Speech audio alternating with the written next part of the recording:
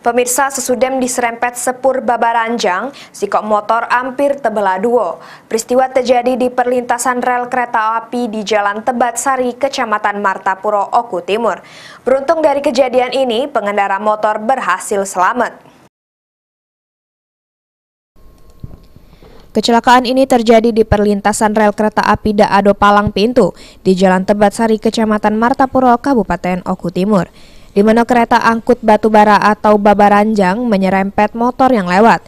Akibatnya motor tersebut terpental sampai 3 meter nyaris terbelah dua. Beruntung dengan kesigapannya, pengendara motor berhasil selamat. Sebelumnya motor ini sempat terhalang oleh mobil pas nak menyeberang.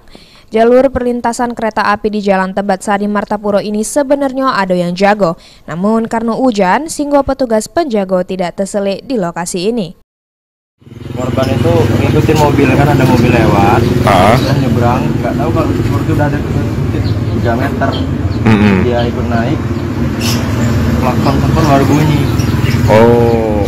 Kata orang-orang jadi semua kan loncat lah loncat lah. Jadi dia loncat. Kepala motor tuh gitu untung dia lompat. Kalau nggak tuh udah.